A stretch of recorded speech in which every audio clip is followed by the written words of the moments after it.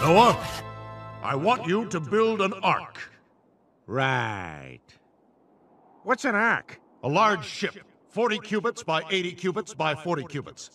Right. What's a cubit? Now it's time to get ready for school. There's no school today. There was another mass stoning. When will we learn? If only those teachers had stones, then they could stone back. Hello? Stone control? Shem, stones don't kill people. People kill people. With stones. I don't think the founding fathers ever envisioned stones this large. Can we not politicize the stoning? To build the ark, Noah stole the wood from the front of his neighbor's house.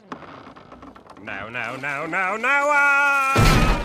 And the animals came, two by two, and were given poorly assigned rooms. All right, uh, lions, you'll be with the baby antelopes. Uh, crocodiles, you're with the water crossing wildebeests. Uh, bats, you'll be with bugs. Seagulls, McDonald's wrappers.